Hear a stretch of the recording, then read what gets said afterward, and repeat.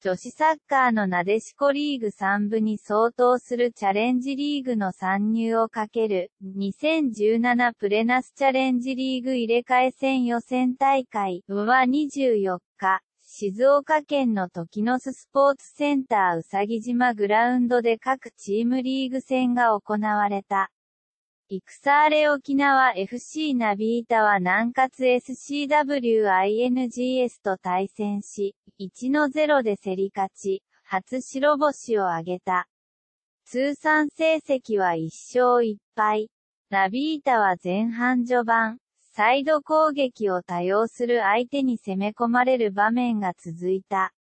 膠着、膠着、した状態のまま前半を終了するかと思われたアディショナルタイムに、国吉真理子からのパスに反応した玉木巻瀬が相手 GK との1対1を落ち着いて決めて先制した。後半は相手に攻め込まれる場面も見られたが、終始攻め続けたナビータがそのまま逃げ切った。ナビータは25日の第3戦でアイナック神戸レオンチーナと戦う。琉球新報電子版